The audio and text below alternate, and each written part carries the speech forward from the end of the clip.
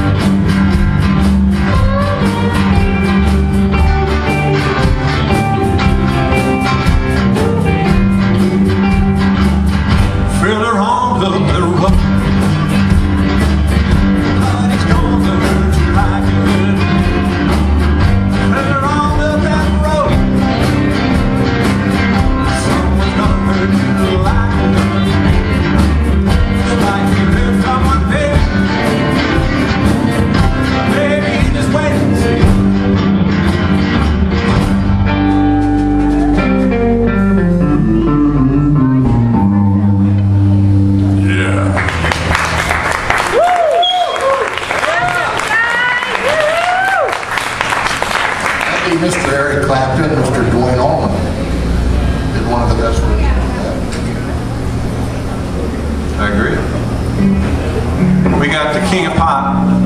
Let's throw some names out here. King of Pop. Michael Jackson. Elvis Presley. King of Rock and Roll. Elvis Presley. King of Zydeco. Buckwheat. I ain't lying. I ain't lying. There's uh, one. There was one remaining King of the Blues, and that's Mr. B.B. King. And we're gonna we're gonna do one that's you can't really imitate B.B. King because he's one of a kind. So we're not even gonna try. And what we're doing is in pure tribute.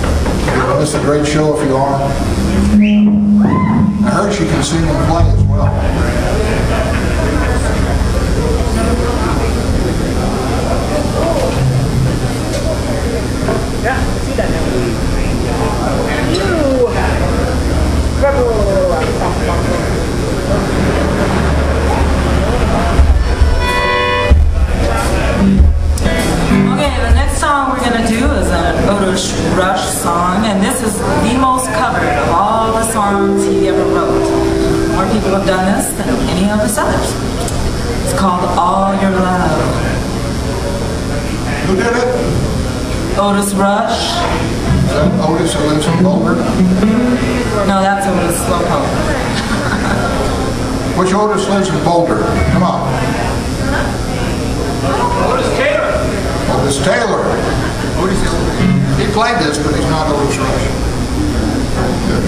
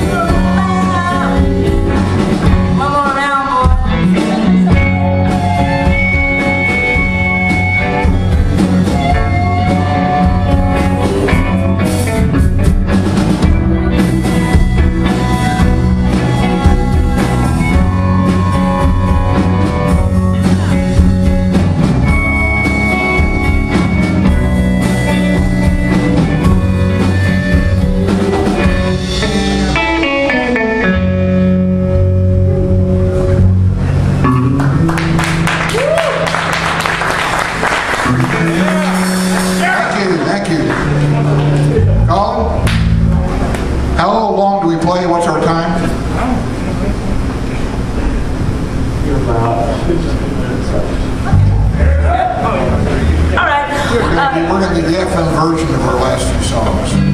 Okay, the next song we have is a song made famous by Mr. Carlos Santana. It was the very first song he ever got into the top 40 and the top 10. And we're going to give him some competition, we hope here. So,